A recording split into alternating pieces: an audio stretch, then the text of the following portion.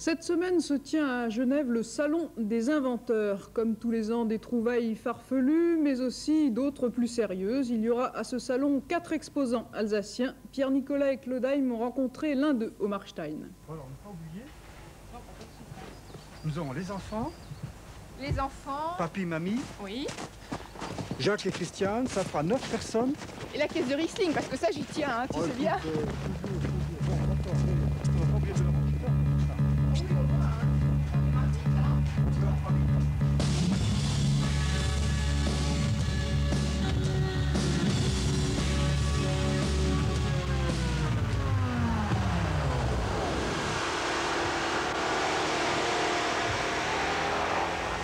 Il s'agit d'un engin chenillé construit sur la base de la voiture de Monsieur Tout-le-Monde.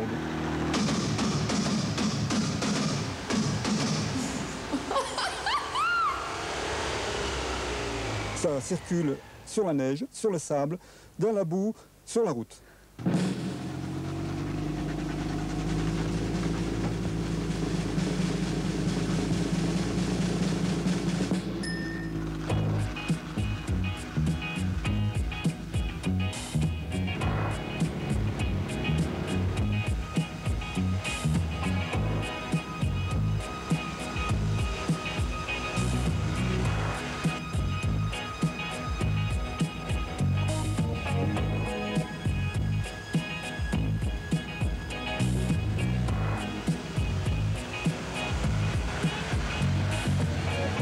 En tant que père de famille, j'ai souvent été confronté à des problèmes de transport d'enfants, de ravitaillement, de valises dans la neige.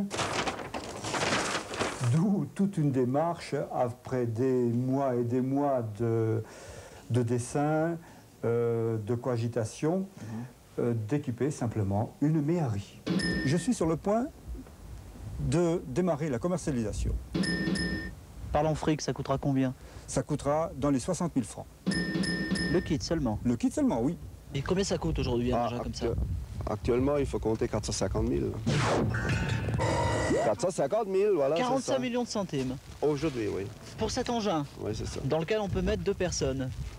Oui, enfin, euh, oui, on peut mettre deux personnes. Ce qui est intéressant euh, à cette Méhari, c'est qu'elle est polyvalente.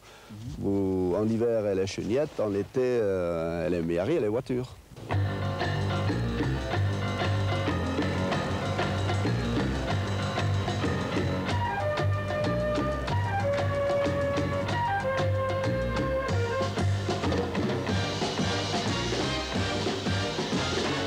Et le volant? Le volant est parfaitement inutile ici. Je pourrais le démonter si j'en avais le temps, mais enfin pourquoi il ne me gêne pas beaucoup? Quels sont les clients potentiels? Je songe par exemple dans notre région aux fermes auberges, aux clubs de sport, aux municipalités qui doivent entretenir des kilomètres et des kilomètres de ski de fond.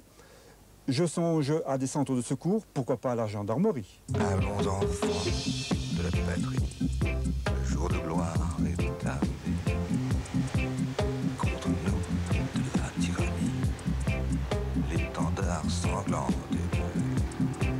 Monsieur Hildebrand, Oui, quand vous ne vous occupez pas de votre voiture à chenille, que vous avez un peu de loisir, vous faites quoi? On fait un peu de Super 8. Mon épouse prend des films et on a un plaisir à les regarder.